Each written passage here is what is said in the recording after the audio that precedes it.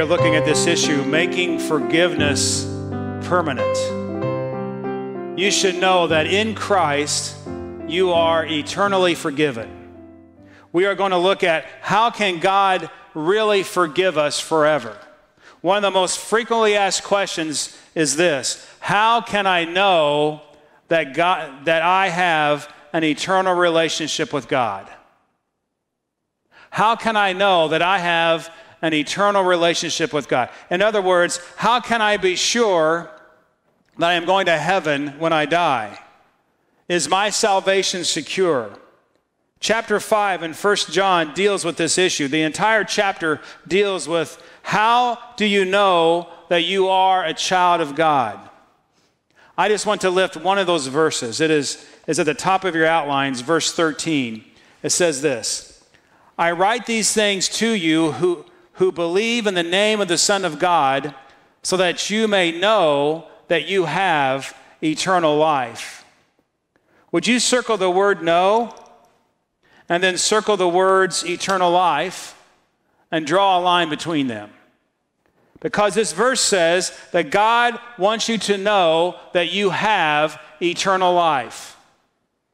The word know refers to, to knowing within your heart, to know for certain, to know something that you are never, ever going to forget, to know something of extreme importance.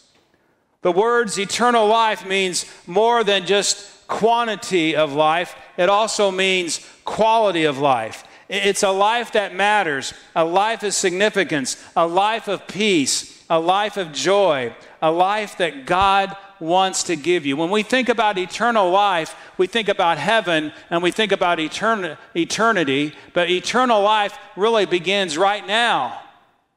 In the everyday world of our lives, when we turn our hearts to Christ, that's when eternal life begins. Here's how to make God's forgiveness permanent in your life. Here's how to experience God's forgiveness forever. Number one, believe in God's amazing grace. Believe in God's amazing grace. How can I know that I have an eternal relationship with God? How can I be sure that I am going to heaven when I die? Is my salvation secure? I have to believe in God's amazing grace. I have to recognize what Jesus Christ did for me on the cross. How his death and resurrection has, has changed my relationship with God forever. We cannot earn our way to heaven.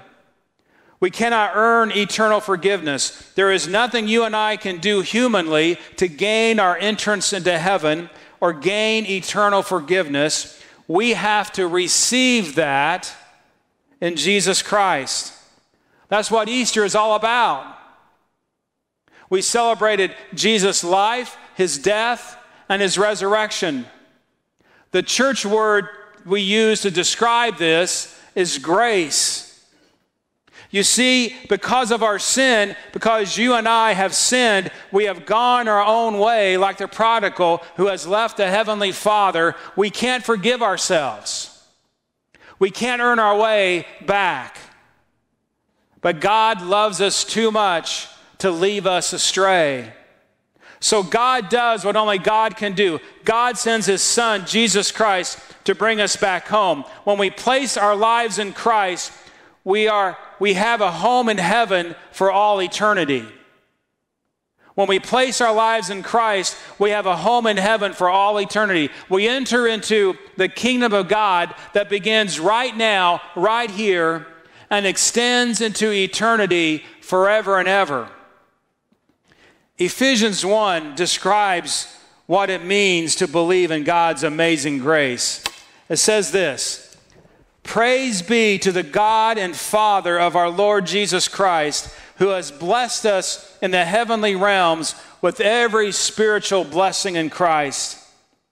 For he chose us in him before the creation of the world to be holy and blameless in his sight, to the praise of his glorious grace, which he has freely given us in the one he loves. In him we have redemption through his blood the forgiveness of sins in accordance with the riches of God's grace that He lavished on us. I love these verses. These verses tell us that God says, in Christ, you are blessed. In Christ, you were adopted. In Christ, you were set free.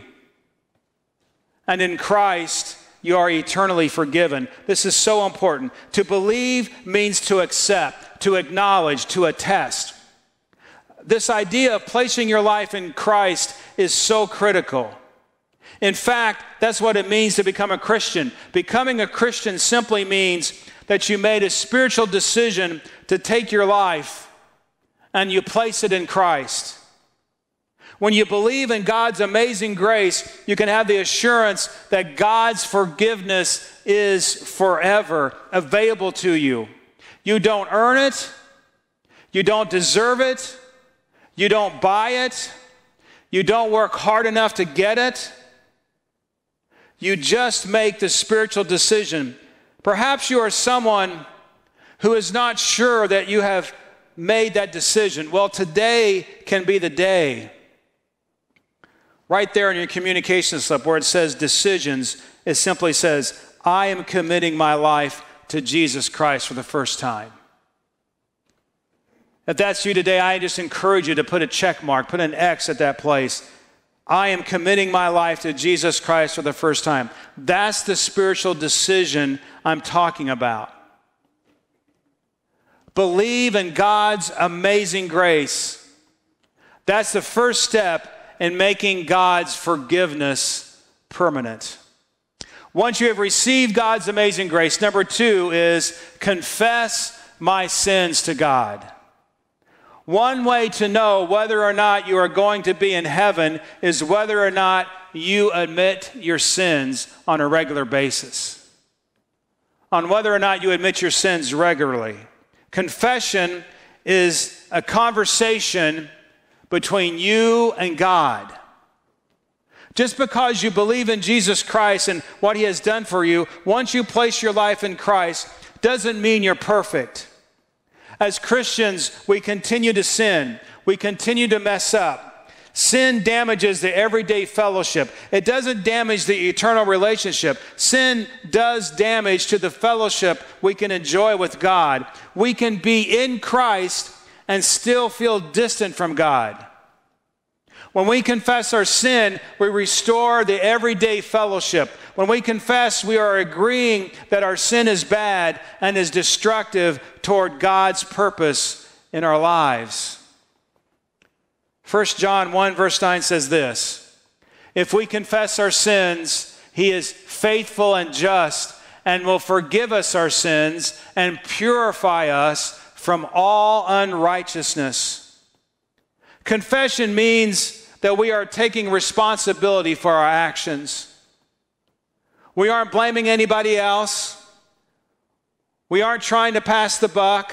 We are saying, God, we did it. We are taking responsibility. We are showing to God that we are interested in growing in our faith. To be connected to Christ means we seek to grow as a person. When we confess our sins to God, we are saying that we are depending upon God to restore our relationship. God draws himself back to us. Notice James 4, verses 6 to 10. It says this God opposes the proud, but shows favor to the humble. Submit yourselves then to God. Resist the devil, and he will flee from you.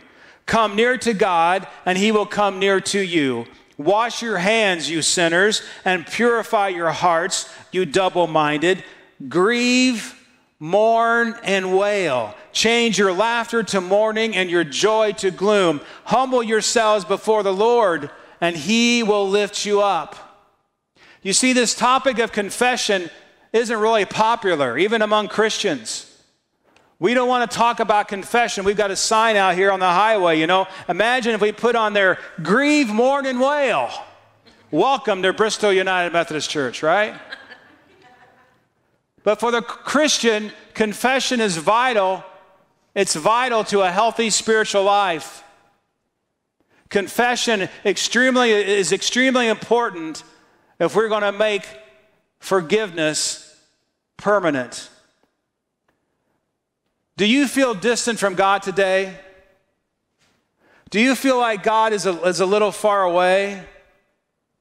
Maybe you need to confess and humble yourself before God and begin to experience these verses in James and allow God to draw near to you as you draw near to God. This is one of the enjoyments you and I can have once we believe in God's amazing grace, once we commit our lives to Jesus Christ. It's called having an ongoing relationship with God. Part of having a relationship with God, what God is trying to teach us is number three, enjoy the benefits of being a child of God. The issue really comes down to this simple question now, if you say yes to this question, if you honestly say yes to this question, then you can be assured that eternal life awaits you. And that's this Do you desire to obey God? Even if I mess up, if I have a desire to obey God, then God restores our fellowship when I confess my sin to God. On the back of your outlines at the top, 1 John 3, verse 1 says this See what great love the Father has lavished on us, that we should be called children of God. And that is what we are. The reason the world does not know us is that it does not know Him. As Christians, this is a great freedom. The idea that God would call us His children, that God says, when you are in Christ, you are his son, you are his daughter. But some of us miss out on, on, on, all this, what all this means, because we have a false understanding of what it means to be a father.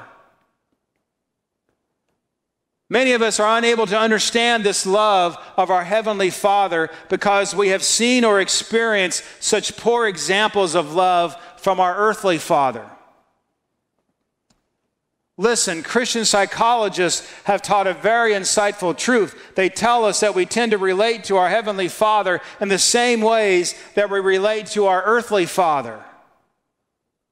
Now, if you had a great earthly Father, who did all the things that loving fathers should do, then this is not an issue for you. But if you're like many of us and you had an earthly father who, who was really a mere human, who, who sometimes sinned against us, who sometimes hurt us, then this can be a problem.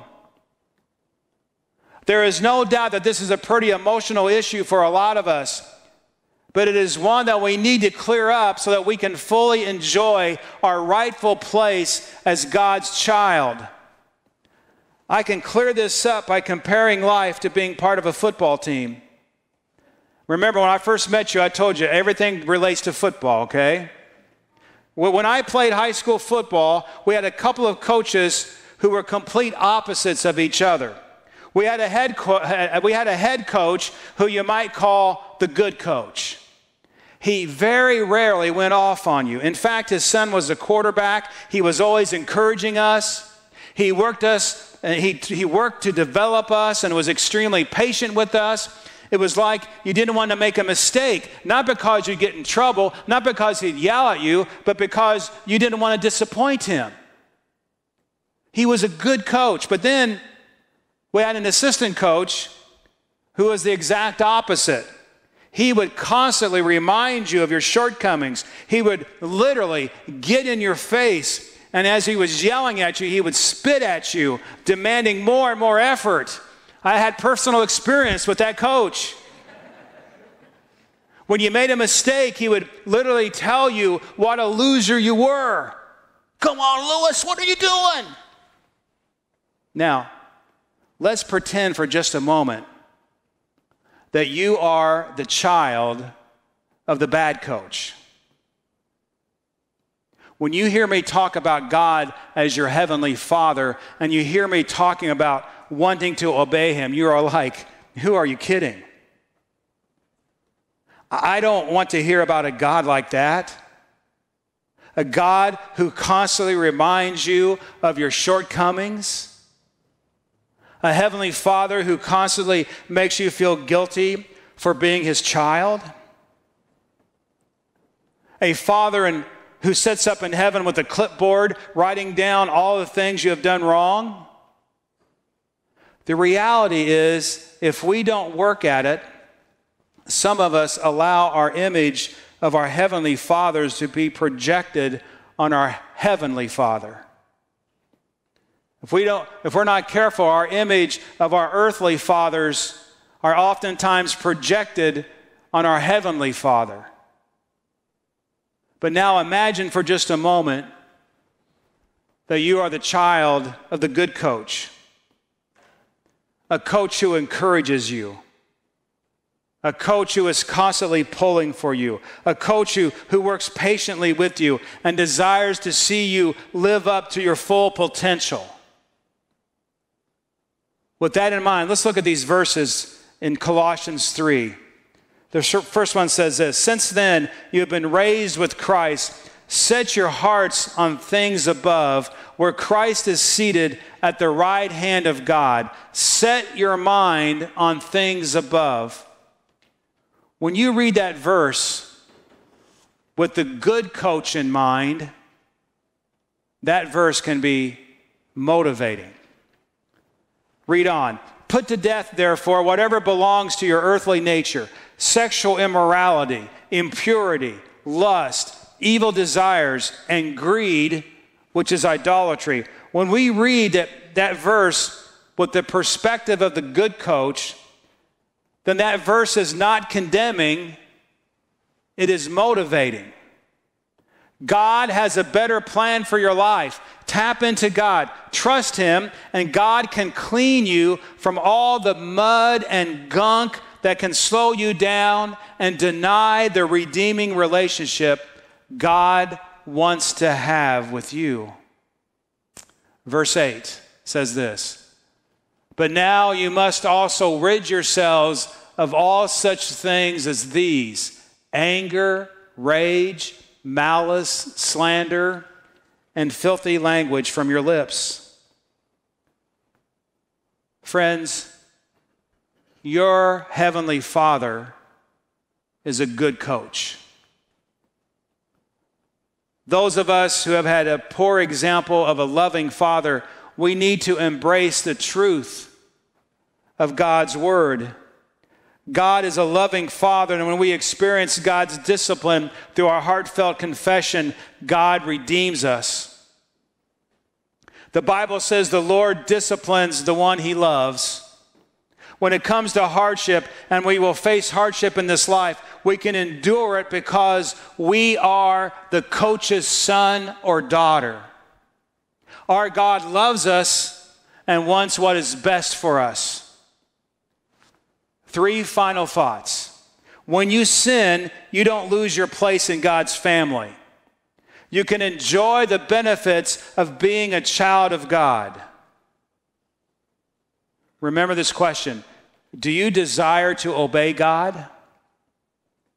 If you do, you can confess your sins to God and be restored.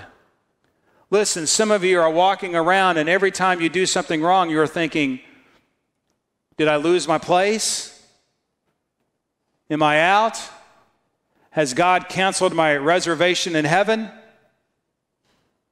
You don't have to worry about that. God is not going to kick you off the team. Your place is secured because of Jesus Christ. Second, when you're God's child, you can break the cycle of sin. How? Through the power of choice you can say no to sin. You can break that cycle. Notice Romans 6 14 in your outlines. Would you read this verse out loud to me? You see it there? It's the second to last one in the back of your outlines there. Romans 6 14. Let's read this one out loud together.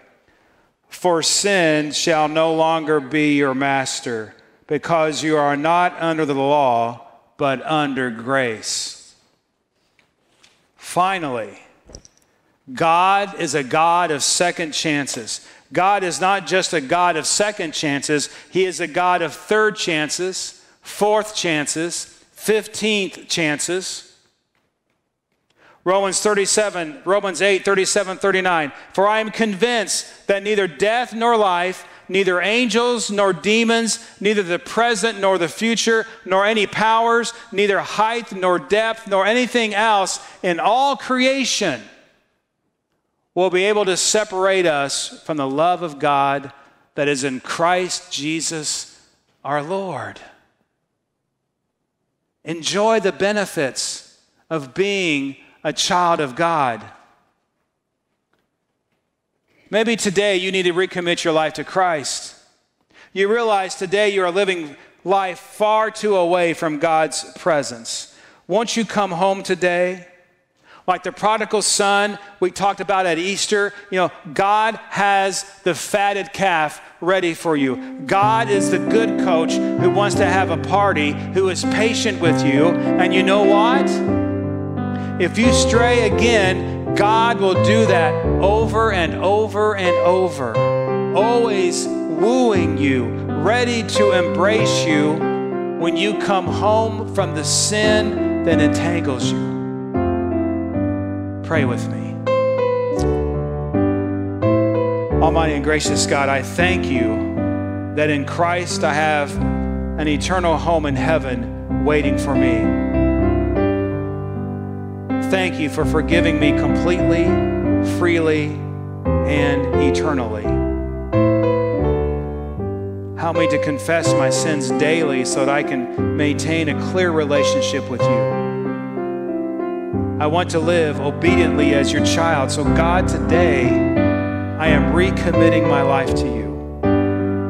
We pray all of this together in Jesus' name.